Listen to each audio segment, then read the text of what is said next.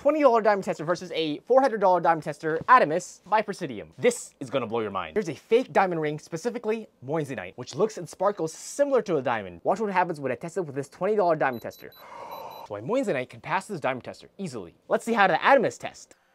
Moissanite. Here's a real diamond ring with tiny diamonds. Watch what happens when I test it with a $20 diamond tester. It tests negative. With the Adamas tester, you can interchange with a micro probe tip, which can test for tiny diamonds accurately. So the $20 diamond tester isn't very accurate. If you see a jeweler using this, leave immediately. Presidium is the standard for the jewelry industry.